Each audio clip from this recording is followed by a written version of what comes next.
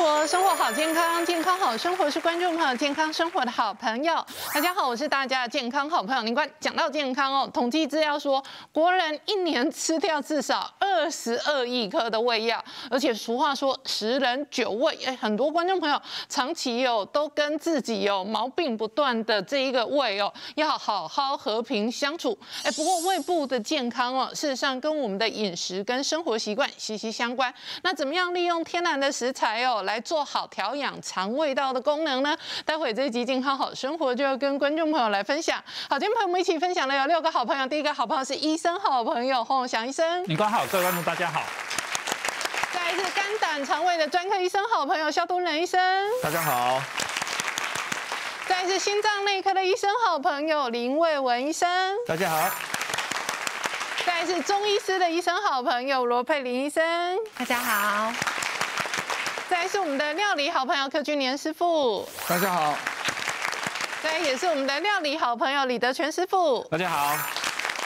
好，请问一下洪医师哦，在台湾呢有几个药哦，几乎是哎家家必备用药，然后办公室的急救箱也是必备用药，一个是止痛药，一个是胃药。嗯，是。那真的很多人常常哦，这个比方说吃了东西之后不舒服，哎，或者要跟老板开会哦，胃不舒服，然后呢就随时吞一个胃药。事实上哦，过度依赖胃药哦，依赖久了真的可能有后遗症。对，其实我们身体很多的不适哈，它是一个警讯，但是哈，其实我们对于警讯的解读哈，像胃痛这件事情哈，我们很容易就是自己去想办法解决它。我们可能会买胃药，以前都买一些什么胃如意啊、制酸剂，哦，现在不是哦，现在大家都很聪明哦，都会买那个比较强效的，那叫质子帮补抑制剂。好，这个这个是什么东西？我就先讲一个案例哈。嗯。大大家好，有没有看？呃，你吃了很多胃药，然后效果都不好的时候，你去做了胃镜，医师不是帮你做了胃镜，哦，发现你胃溃疡、摄子肠溃疡，逆流性食道炎，就会开一个叫做。只有做胃镜才能开的那种强效的那个呃胃药，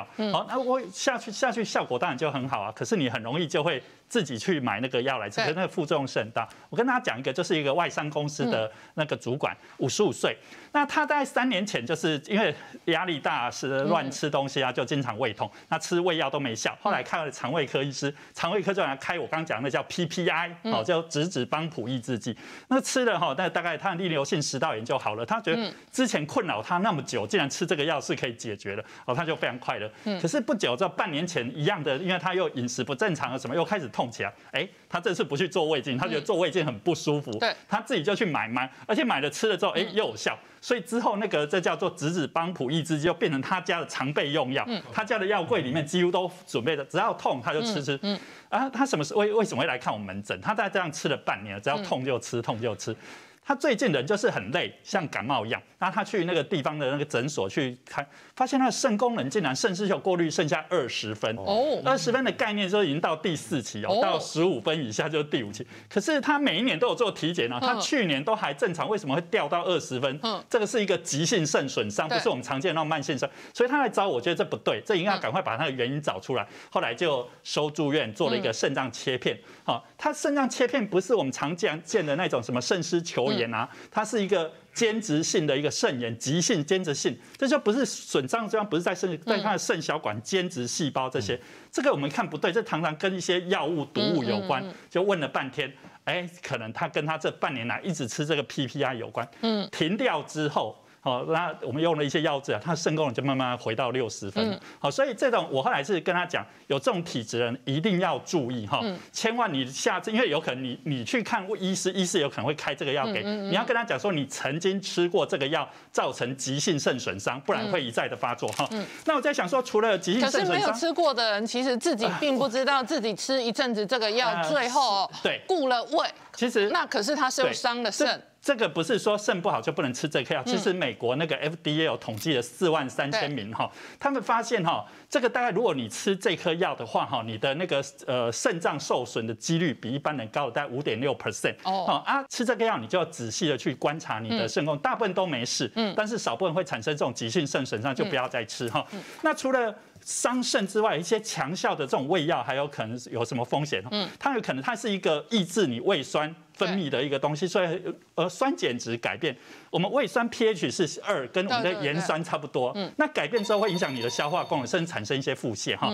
那有一些造成一些呃长期使用这些胃黏膜的一些萎缩，这甚至产生一些胃癌的发生，这也要特别小心哈。那还有增加他们研究跟一些什么呃胃肺炎啊失智，还有呃最近其实大家讨论的一个说长期使用 PPI 造成一叫低血镁。嗯，呃 FDA 在二零一一年哈也发现哈，你只要超过一年哈，出现低血镁的几率很高。只要一旦出现，他们建议说最好是停掉，不要再继续吃。低血镁会产生全身无力啊，甚至心律不整。那有产生一些骨质疏松、维他命 B 十二跟铁质吸收不良啊，甚至总死亡率也增加。哈，所以说胃药我们觉得好像没有什么副作用哈，但是呃，我是说真的，你要要吃这类强效胃药，还是由医师来开。其实这是处方药啊，照理说没有处方签。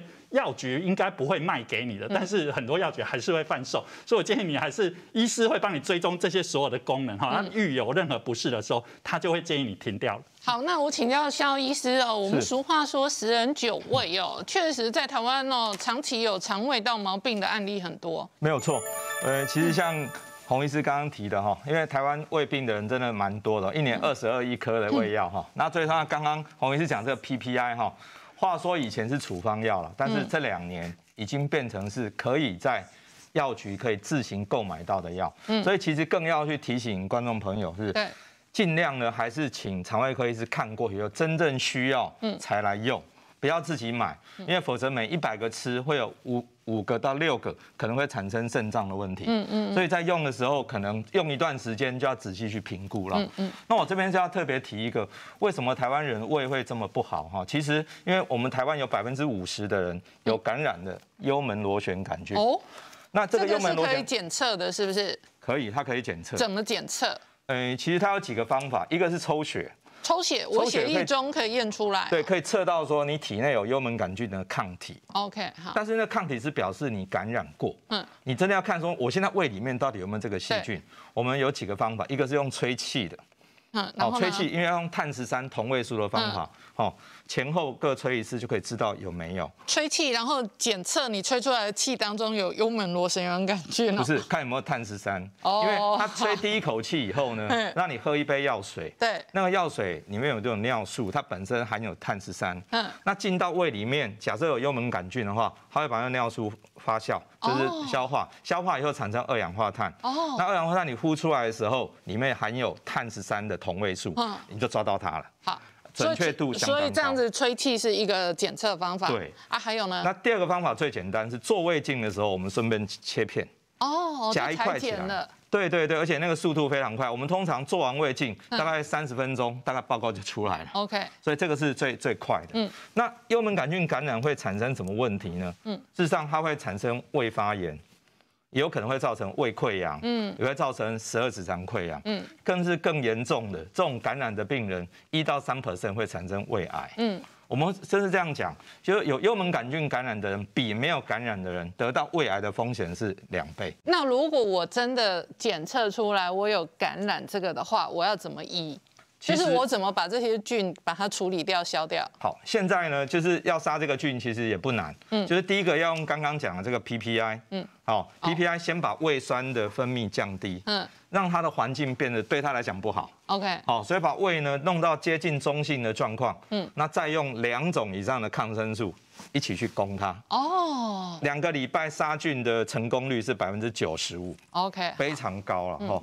所以，所以您刚讲之后，我们就来看一个实际上的案例哈。这个这个病人很好玩，他是一个七十五岁的老先生啊，他来的时候就胃不舒服。嗯，我们可以想啊，他只一百七十公分，体重来的时候只有四十五公斤。嗯，过瘦。老先生哦，这么瘦哦。他说，对他本来就瘦，但是他最近这一两个月都吃不下饭。所以又从四十八公斤瘦到四十五，嗯，好瘦一个。他说他都吃不下东西，胃不舒服，被他的太太跟小孩压着来。那我说好，既然老先生这么不舒服，我们直接做胃镜。嗯，一做下下去的时候，我怕他是全雷打，什么意思？因为刚刚我们说幽门杆菌可能会胃发炎，对，哦，因为溃胃溃疡，对，十二指肠溃疡，对，而且那胃溃疡看起来很像胃癌，嗯，赶快跟他做切片。好，我们来看这个图哈。这张图就是它胃发炎的状况。嗯，我们看中间这张是正常的胃黏膜，嗯，这是没有发炎的。而这个你看红红红红的，它整个胃通通发炎。嗯，然后再来它的胃呢，就是这样一个溃疡。嗯，哎呦，这溃疡看起来好可怕哦，肿肿的，会不会是胃癌啊？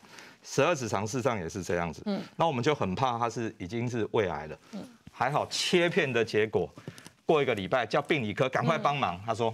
还好，只是胃溃疡而已。所所以他就要治他的幽门螺旋杆菌跟胃溃疡了。对，OK。好，结果我们又两个礼拜的药用下去。嗯，他下一次回来的时候说，哇。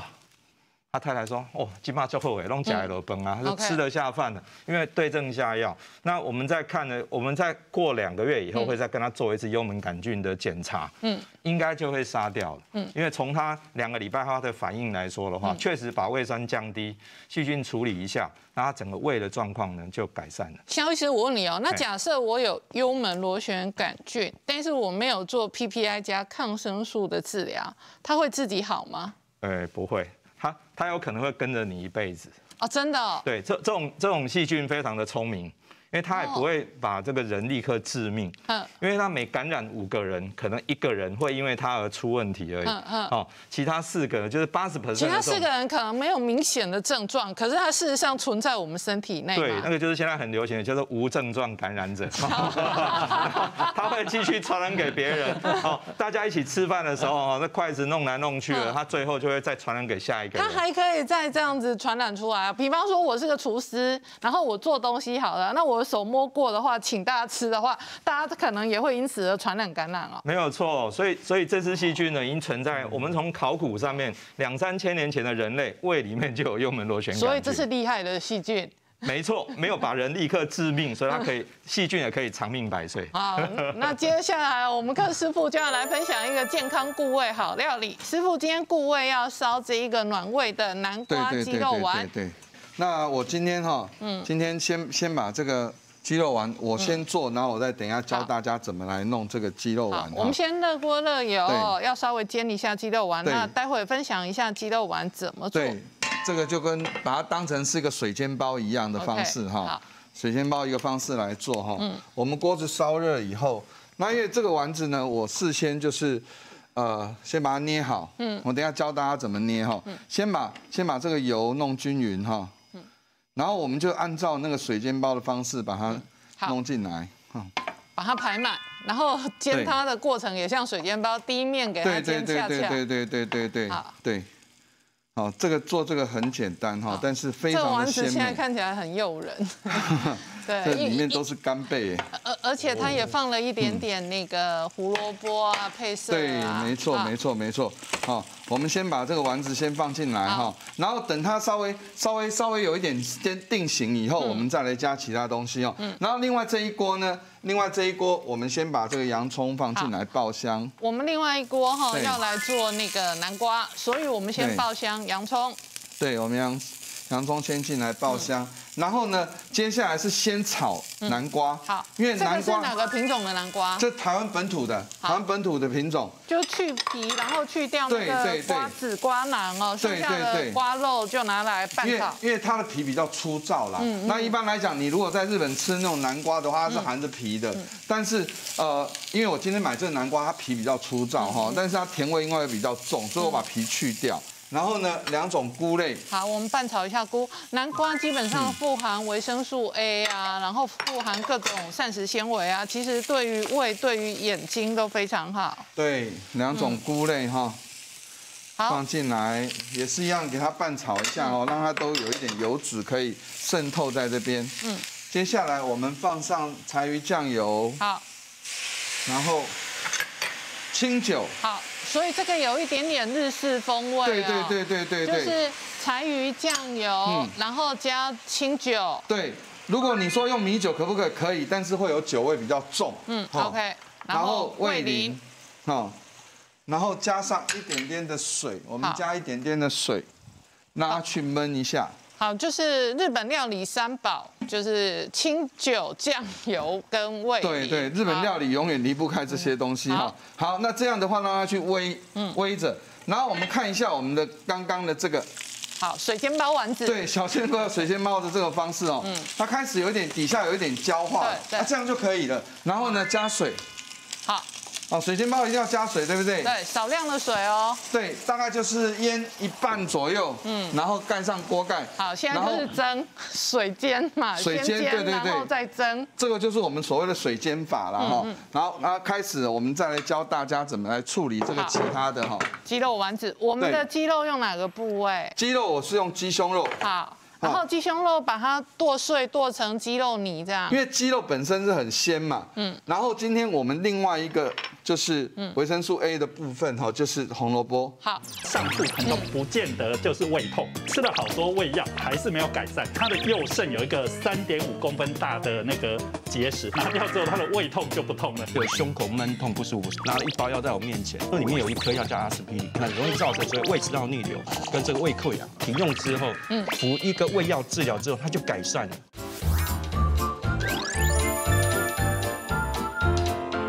我们把红萝卜好像是当成碧琪一样，对，切小丁，对对对对对对对对对，嗯，然后呢，主要的鲜味来源哈，就是我放了一些干贝。好，我们泡了一点干贝哦，对，它连同这个汁哦，连同这个汁进来。好，好，连同这个汁进来，所以它就有海鲜跟肉鲜了。对对对对对，然后呢，加上。鸡蛋哦，一颗吗？对，一整颗鸡蛋进去，蛋白跟蛋黄都加。对，然后这个粉类还先不要进去的时候，我们先调味。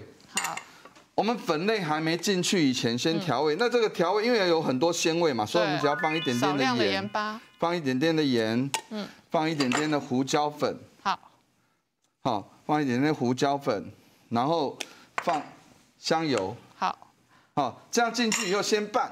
先拌，要让它所有的材料都先融合跟对对对对对对。那因为它会有水分，对不对？对。所以我等下教大家另外一个方法哈，你这样才能定型起来哈。呃，几种方法，一种就是什么？用豆腐，豆腐是属于固态的水。OK。所以我们会把它弄加进去以后，你煮完这个丸子就会很嫩。嗯。但是豆腐有个缺点，你现做要现煮。OK。你不能冷冻，不能放。好，所以。它是这个缺点，嗯，那另外一个方法就是什么？用爆米花，就像我们在做狮狮子头一样，用爆米花。那西餐有吗？西餐我们在做呃汉巴骨，就是那个汉堡排的时候，它会用到什么？面包粉。这个是炸猪排那一种面包粉。对对对对对，这是无糖的面包粉。好，好，尽量选无糖面包。面包粉有分有糖跟无糖。OK，我们尽量选那种无糖的面包粉。那如果没有的话，我跟你讲，自己面包晒干了以后，用那个搓板搓，对对或者是馒头晒干了以后用搓板搓，就那种吐司面包，对对对对对对，或者是法式面包，法式面包比较没有那么糖那么多，吐司面包糖很多哈。好，把面包粉加进来，然后它的粘着剂除了刚刚的蛋以外，这是什么粉？这是太白粉。太白粉。好，那我们再把它全部把它搅拌均匀哎，我问个蠢问题，如果我厨房刚好没有面包粉，我就直接太白粉下去。把太白粉当粘着剂，可以，但是就是你吃的时候会有很多粉类，还有你在煎煮的过程当中，它的很多水分会流失。你看刚刚的那些鲜美的那个有没有干贝的汤汁啊？对，全部被面包粉给吸附起来，而且它有那个粘性出来了。对，没有错，你只要稍微拌一下哦，然后你看刚刚的鲜美的汤汁全部都要被它拌在一起了。那你拌在一起以后呢，到时候你再去捏丸子。而且你可以先做好放冷冻，随时要煮的时候拿出来。好，那这个东西的时候，我们先来看一下哈。先看一下煎包鸡肉丸。这个你看鸡肉丸它已经半熟了哈，哎，真的，而且它已经定型了，真的很水煎包哎，这样子很像那种小煎包。对，那这时候呢，我们将它水蒸气先冒掉哈，然后先等一下，然后跟这边也一样，先等一下，然后等一下再来做结合。好，那我们这个在烹调它、煮它的同时，再请教罗医师哦。这个古人常常说胃病哦，三分治七分养，所以调养很重要。所以其实很多胃病都是从你的生活习惯来的。我之前有一个女生的一个病患。她来看诊的时候，她是因为月经都一直延后没有来，那她其实已经先去西医那边检查，那西医就说你这个是多囊性卵巢症候群。然后他自己知道说他得到这个病的时候，他也非常惊讶，因为我们大家知道多囊性卵巢，它是会就是有体重增加，然后体毛多、长痘痘，他完全都没有这些症状，他就是一个瘦瘦，然后就是白白的，然后没有什么就是皮肤很好的一个一个年轻女生，而且她是瑜伽老师哦。那因为我们中医在看诊的时候，我都会问他说。呃，那这样的话，你就是平常一些饮食啊、作息的一个状况。他就说，因为他就是呃每天的话，早上都会因为胃痛而痛醒。嗯，哦，那我就跟他说，那你胃痛，那你都怎么吃你的三餐？他说，因为他是瑜伽老师嘛，所以他都是下午晚上有课，就是教一些上班族，所以他都睡到早上可能九点十点吃第一餐。那第一餐他会吃的非常丰盛哦，因为。体力要消耗很多嘛，然后他第二餐就会比较轻食，他会等他下课完之后，因为你在教课不太可能吃饱饱教，所以他第二餐就不一定时间，有时候可能六点八点啊更晚都有可能。那我就跟他讲说，因为你多囊性卵巢其实是。荷尔蒙失调造成的疾病，那荷尔蒙失调怎么来的？有时候你可能就是从你的饮食、作息啊、压力这些来的。那我就跟他讲说，你可能要改你的饮食，一天最好是能够吃到三餐，然后但是少量多餐，然后这样的话就是养你的胃哈。那一些比较刺激性的、啊烤的、辣的、炸少吃，然后这样才可以慢慢的从我们胃，因为胃是营养的来源嘛。那你营养足了之后，你的荷尔蒙才会恢复正常。所以他就慢慢调整之后。呃，月经就有比较规律，然后肠胃也变得比较好。嗯，好，同时间哦，我们的丸子也好了。对，你看我们现在汤汁收干了哈，这真的就跟水煎包一样哦。这时候它是吸附汤汁的能力就会更强哈，所以这个时候呢，我们再把这个丸子，好，把它全部跟它放在一起。哦，好。而且丸子的另外一面哦，我就看到它有点焦焦焦的恰恰有没有？它真的看起来真的很像小煎包。对对对对对，而且等一下你等一下你在咬的时候，它会有汤汁，是因为刚刚我讲过面包粉的功劳。对对对，然后这时候我们再把葱花放进来，然后把它搅拌均匀，这样就可以吃了。好，那我们就来上菜哦。压力太好吃了，你看大家都吃光了，味道非常的好，而且我想。柯师傅选的食材非常的棒哈，因为我们胃哈胃实际上很特别，嗯，因为胃每天有食物进进出出，所以它黏膜的消耗还有修整非常快，几个礼拜就要整个换一批，所以有好的蛋白哈，让它是一个修复的材料很重要，所以这里面有鸡肉、有干贝、有这些当很好的蛋白质来源。那再来是选的这个胡萝卜哈，我觉得很很棒，哦，因为这里面很多的维他命 A。维他命 A 对黏膜的修复也很重要。嗯，那我们在秋冬哦，大概很重要的几个食材哦，因为我们要修复肠胃的话，大概像山药、秋葵哈跟莲藕这些比较黏黏的食物哦，因为这个黏液素哈有这个对修复黏膜有有一点帮忙了。嗯，那再比较特别就是南瓜跟红萝卜这两样东西，刚刚柯师傅都有选哈。嗯，那这里面就有维他命 A，维他命 A 对于黏液哈，它产生这个黏液层很有帮助。好啊，另外一个比较特别的，还有一个是我们常常讲的高丽菜。高丽菜比较特别，是维他命 U。维他命 U 呢，也是对这个黏液层有帮忙。好，另外像白萝卜或者马铃薯，这个当然它的纤维比较高，所以我们秋冬都要注意说它去养胃。但是另外要提醒是，我们在秋天哈，白天有时候在中午会三十度，可是到晚上或清晨哇十几度而已，那温差这么大，肠胃就很多人不舒服。原因是因为温差的时候会让我们自律神经不稳定。嗯。那我最近呢，就有一些病人，他会去年来，今年这个时候又出现了。嗯，好，那来都是微遮遮了哈，刚阿北加微遮遮，甲完微肚肚。嗯，好，嗯，那一问没有错，症状跟去年一样，那我就会开药给他吃。嗯，只不过像这样子，因为天气变化而造成的胃不舒服哦，通常跟胃酸的关系没有这么大。嗯，好，所以大概不会用到 PPI 啊，因为 PPI 问题还是比较多嘛，哈。我们可能就是稍微抑制一点胃酸，用所谓的 H2 blocker，好，轻微的抑制，那加上调节自律神经，嗯，这样他症状就会好很多了。嗯，好像我刚刚举这个病人，他吃一吃，下个礼拜来就好多了，嗯，他就不用做胃镜，嗯，但是还是要讲嘛，哈，万一这种药压不住的话，胃镜还是要做一下。哎，真的，那我请教李医师哦，另外一个在台湾其实哦蛮常见的这个胃部的疾病是胃食道逆流，那有一些人甚至有。火烧心、胸闷的状况，那很多人哦，这个常常哦分不清楚到底是心血管的胸闷、胸痛的疾病，还是胃食道逆流引起的。对，我刚刚才跟肖医师在讨论说，哎，其实很多肠胃道的疾病都是心脏科医师来发现的。好，那原则上我们在门诊其实看到很多病人，他其实会有胸闷、胸痛，他第一个会担心是心脏问题，他会先找心脏科。所以我们常常会遇到一些不是那么像心脏的问题。据统计了哈，胸痛大概只有在一层是心脏的问题，嗯，其他九成可能都是其他问题，像是肺啊或者是肠胃道啊等等。那我自己本身最近也遇到一个病人，他是七十多岁的一个北北，他是在医其他医院看诊，他本身有高血压、高血脂跟心律不整。嗯，那因为他常常会有胸口闷痛不舒服，所以他也是心绞痛。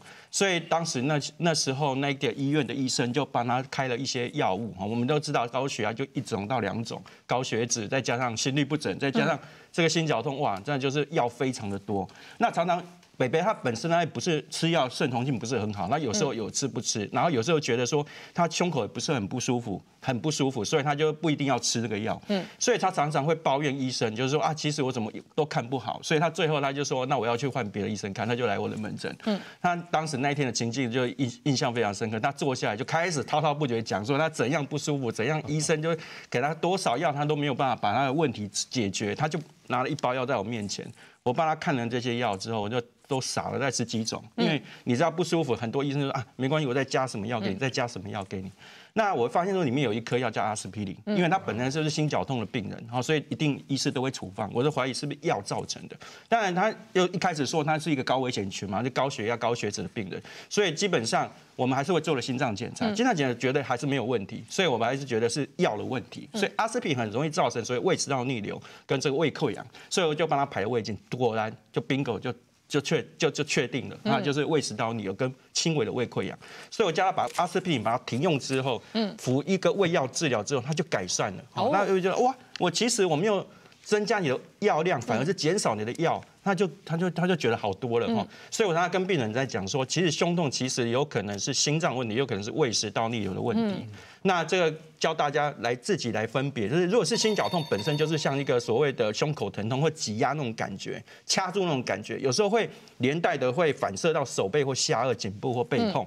那有时候它有伴随一些恶心或者身体虚弱、呼吸困难跟出汗头晕的症状。如果是胃食道逆流的话，它比较典型的胸口会灼热，就是刚刚主主持人讲的火烧心那种感觉，嗯，甚至会觉得嘴巴酸酸的，哈，就是有胃酸呛上的那种感觉。那如果比较不典型，就是像是非心因性的胸痛，包括吞咽困难，有些时候会有异物感，这也是，或者恶心，或是持续咳嗽，因为胃酸呛上来之后会刺激喉咙，会容易产生咳嗽、气喘或者声音沙哑等等这种情况。嗯，那我请教洪医师哦，还有一些这一个，比方说肾脏、尿道有疾病的人，他们一个不小心也会出现肠胃不适的症状。嗯，每次病人一来就说，洪医师我胃痛，我胃痛。再来胃就在我们的那个横膈膜下面，在我们的呃上面是肺，然后就它是在腹腔的最上，大家就摸着那个位置，可是这个位置的疼痛。这叫上腹疼痛，不见得就是胃痛，有可能有其他的问题。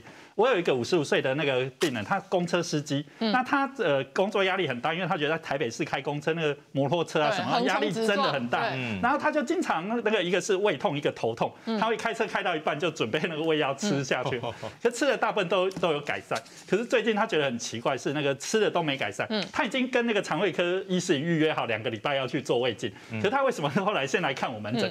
他那一天吃了好多胃药，还是没有改善，那后来晚上吃饭的时候突然解。出大量的血尿，他就去挂急挂我门诊，我把他转到急诊去，因为大量的血尿，那一查哈，他的右肾有一个三点五公分大的那个。结石，而且哦，它已经堵到你的那个肾脏，造成肾脏水肿。我觉得这个不能放回去，这要赶快去处理，不然那颗肾脏会报销掉。那就给泌尿外科，泌尿外科就收住院开刀把它拿掉。嗯，很神奇哦，拿掉之后他的胃痛就不痛了。嗯，那他出院之后，他还是去看肠胃科，还是做胃镜？哎，他的胃根本没问题。嗯，哦，所以我们在想哦，他的胃痛事实上是那个结石。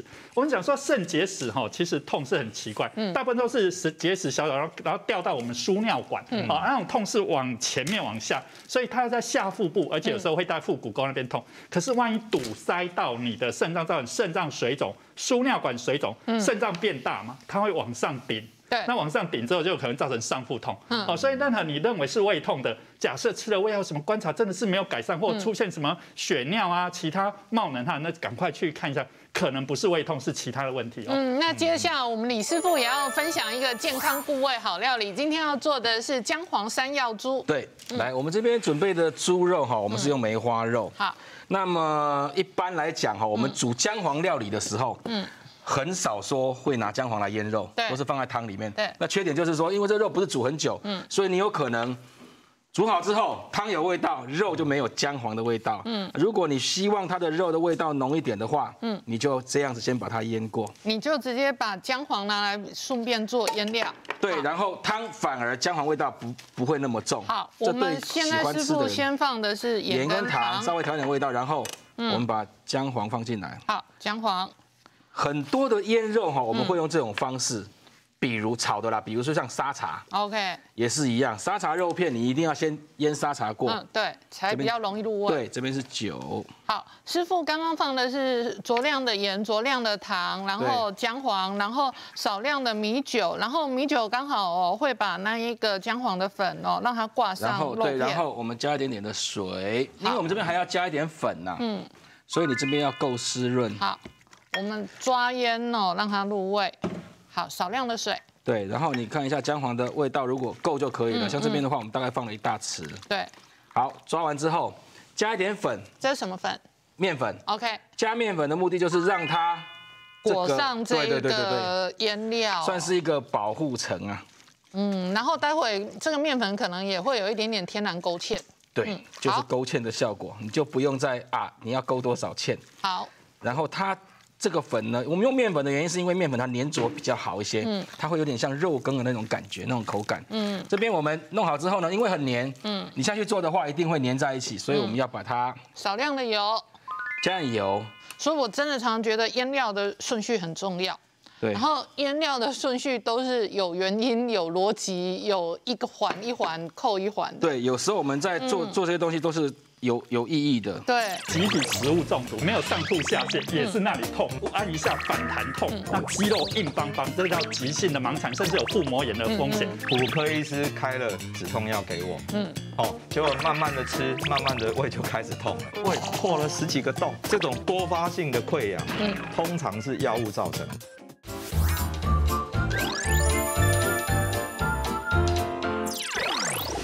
我们现在因为有酌量的油下去了，我们锅子内的油不需要那么多，然后待会要炒也比较容易炒开。常常听到人家过油过油，它就是油比较多。那我们这个就不用过油，我们就直接把它放下来。好，那这样一块一块确实有点那种咖喱肉块或者姜黄肉块的 feel。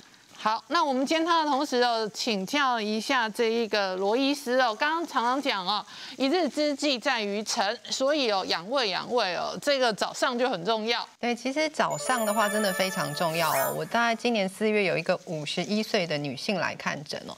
她来看诊主要是因为她的月经量突然变非常大量，然后后来去检查是子宫腺肌症嘛，然后她想说她五十一岁也快要更年期了，她就想要做一些比较保守的治疗。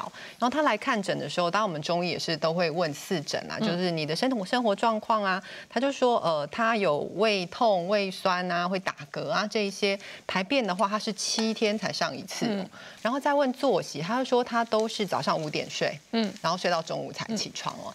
然后其实像这样子的状况，我们讲说一日之计在于晨嘛，所以他一天的餐大概也是只有两餐而已。哦，然后两餐的话，因为我们呃你的排便、肠胃啊这一些哦，就你一天如果吃你有吃东西进去肠胃的时候，你的胃会蠕动，就会正常排便嘛。那因为他吃的也很少，哦，所以他就排便有很大的问题。那我就跟他讲说，那你尽量试试看，如果你的作息不能改的状况，一天的话可以增加一餐。哦，至少三餐，然后这样，因为他睡的时间也是很晚嘛，就一天三餐，然后至少你这样正常的饮食，然后吃的足够啊，这些再慢慢调整你的身体，然后他的排便就会比较正常。他后来就是大概两天可以上一次厕所。那我们中医来讲啊，就是还是很重要的一个点，就是我们什么时间应该做什么样的一些。呃，饮食的部分哦，我们的话，其实，在早上五点到七点走的是大肠经哦，那这个时间点，我会建议你喝一点温水，然后肠子就是开始会蠕动，排便就会正常。然后七点九点的时候吃早餐，然后九点到十一点的时候呢，是帮助消化，可以做一点那种脾经的按摩。那如果你肠胃本身的功能比较差的时候，其实会。影响到就是有像是有一些胃痛啊，或是胀气啊，或是水肿啊，或是我们胃经的穴道，像是梁丘毒鼻穴，它那边的那个肌肉会比较萎缩，脚就会无力。哦，然后这个话就是大家可以稍微注意一下。好，那同时间哦，师傅这里哦，两面把它煎香哦，其实它那个姜黄的香料的香气哦，很浓郁。嗯，对，然后不要煎太久了，姜黄也容易焦。好，我们把姜片、姜、蒜、洋葱。好。所以先把肉煎个这个七八分熟，然后其他的呃姜、蒜，然后洋葱再让它拌炒。这边略炒香味出来就可以了哈，然后我们就可以把我们的好山药。跟秋葵，我们山药切块哦，然后秋葵也可以直接下，这边都可以直接下了。OK，那这边秋葵的话，嗯，我们尽量就把它不把它开口了，哦，因为这样子吃的话哈，因为把它切开的话，嗯，它那个黏液会跑掉嘛，对，会融在汤里面。你这样子的话哈，嗯，咬下去会有那个惊喜感呐，你咬开里面都是黏液那个感觉，口感会比较好一些。嗯，然后我们这边加一点水，好，我们加少量的水。这个时候我们其他的食材让它焖熟跟焖透。这边只要焖熟其实就可以，然后我们加一点点的调味，好，就直接把它焖。这通常要焖多久？这个大概五分钟。好，一点盐，一点糖，一点糖。如果还希望更浓郁的姜黄的味道，在这里也可以再加。对，你也可以再加。那因为这道菜我们大概是烧的，不是要煮汤，所以我们就稍微这样子就可以把它焖一下。我们盖上锅盖焖它，焖它的同时请教一下林医师哦，还有一些观众朋友吃完东西之后就觉得莫名其妙的胃痛，那直觉就觉得肠胃有问题，但是事实上你说临床上你们也遇过有些状况是腹腔里的血管惹的祸。其实我们心脏内科其实不不不是只有照顾心脏，还要照顾你全身上下的血管。那这个病人他是心这个腹部的血管的出问题，哦，那他是一个七十岁呢洗肾的哈的一个患者，那本身他有三高，那这次来他是来主诉是说他有进食之后他肚子一直都很痛，嗯，那。吃完之后，哎，休息一阵子他就好了。那在洗肾的时候也会很痛，肚子也很痛啊，测他痛的受不了，所以他就来到我们的医院，好，那门诊来看。那我们就帮他检查一下，就发现说，哎，其实他有心肌的缺氧，所以就帮他收住院来做一个心脏的检查。嗯，那有其实发现我说，其实他。肠，我发现到他其实他在进食的时候，跟所谓的洗肾的时候，因为这个可能就是因为肠子在动的时候，他因为他是缺氧，缺氧的时候就会产生疼痛，这是我们常讲的肠绞痛。我们常常只会知道心绞痛，不知道肠绞痛。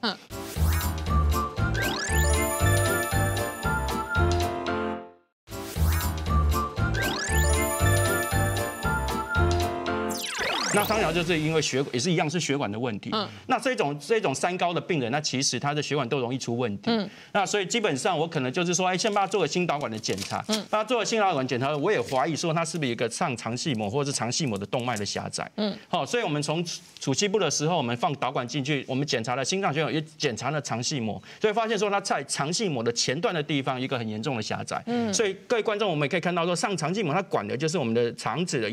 小肠的一部分，嗯，跟大肠的前半这个部分，嗯，所以常常我们看到说，这个血管如果出现问题的时候。会有腹痛的症状出现，尤其是病人他常常会抱怨说，进食完之后他肚子痛，会不舒服。当然也有一些像是一些比较急性的肠中风，它是由心脏产生血栓塞住这样的肠系膜动脉，而造成比较广泛的肠缺血、肠缺氧的现象。所以经过这个我们的血管把它打通之后，介入完之后，它其实它就腹痛症状就有改善了。嗯，好，同时间师傅这里也焖好了，这边我们把它焖一下就熟了哈。嗯，最后呢，我们加一点点的鲜奶油。好。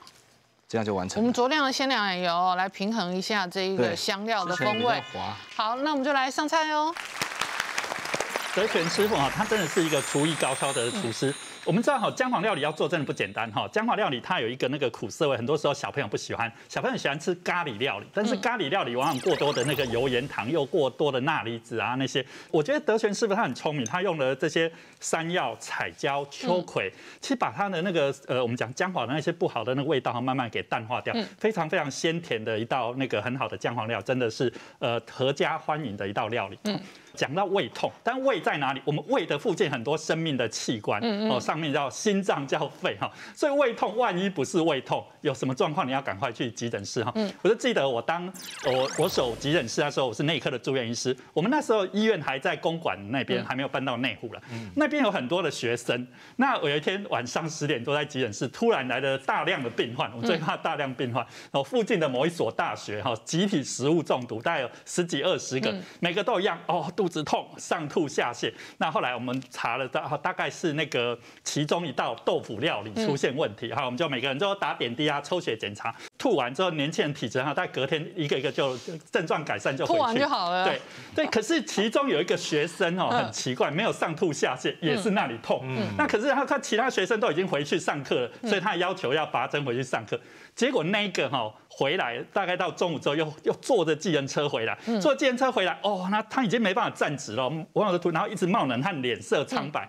那我们后来发现，呃，回来之后我们再看肚子，哎，这个不是肠胃炎吗？然后快摸一下肚子，他根本不让你摸，哦，他痛到受不了，然后按一下反弹痛，那肌肉硬邦邦的，哇，我们大家实习师都看出来，这个一定是有问题，这已经是这个叫急性的盲肠，甚至有腹膜炎的风险。后来就转到外科，啊，果然是盲肠。还好没有破掉。那开完刀之后，呃，就救了一名。所以，我我把它归纳出来有几点要特别注意。如果肚子痛哈，第一个出现那个叫腹部肌肉僵硬，嗯，这个叫做这有一个医学名词叫肌肉防卫，嗯，我们肌肉防你很痛嘛，你是不准人家说你肌肉就会紧绷，不准人家去摸它哈。那或者说你按压腹部的时候已经弹开有那种。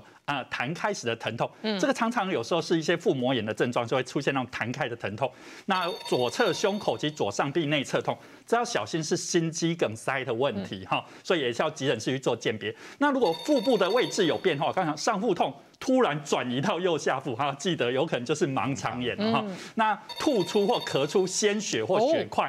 哎，这个有可能是我们讲说，呃，比如说肝脏的问题，肝硬化会出现那个叫食道静脉曲张，嗯，哦，那有可能是肺，哈，肺也会出现一些肺出血的状况。那另外排排出大量鲜红色的粪便或沥青状的黑色粪便，胃溃疡到大便出来，其实经过很长的时间。照理说都会黑色或青色的，嗯，可是如果排出来是很鲜红，表示那个出血量是非常非常大的哈。如果出现这些问题，务必哈赶快去急诊室，不要自己再去随便吃胃药。有时候那个我刚刚讲。盲肠炎破掉变成腹膜炎的时候，那死亡率高达四十 percent 呢。嗯，哦，所以大家真的要特别小心。好，那这个肖医师也要提醒哦，这个在台湾其实有很多慢性疾病，或者哦某些人哦手术啊术后用药会用某一些消炎止痛药。是。那某些消炎止痛药吃多了哦，确实有些人会造成胃部的这一个毛病。没有错，事实上我们今天用了很多食材哈，在在护胃嘛哈，不管是刚刚的秋葵哈，或者是红萝卜，或者是南瓜，这些都是护胃。可是有一些药确实很伤胃哈，一个叫护黏膜，一个是会伤黏膜。那就像说，我隔壁的心脏科医师，嗯，他也算是我们的上游工业了，因为心脏科医师会开阿司匹林，对，保护心脏，对，可是那个会会伤胃。阿司匹林伤胃，伤胃。那很多人吃是长期吃的，哎。对啊，所以有时候不得已哦，有些特别是年纪比较大的老人家，他的黏膜胃的黏膜比较薄，嗯，真的都要用一个胃胃药胃药稍微顾一下。嗯，那我们另外一个上游工业就是骨科，OK，哦，关节炎啊，止痛消炎的。对，还有一个呢，就是耳鼻喉科。为什么也是消炎药？感冒大家都会开消炎药啊，哈。那所以我们常会这三种科别的医师，他病人看完之后产生的问题。嗯。那我现在举个例子啊，哈，就最近没有多久，一个七十岁的老太太，一样儿子晚上带着来，哦，妈妈胃很痛，然后跳瓦固啊，然后大概有三个月了。嗯。那这怎么处理？啊，我妈妈常常胃痛啊，家里都会备胃药，她就自己吃一吃，冰熊奇动五毫，可是这次怎么吃都没效。嗯。那不得已在看肠胃科，就问一问哈。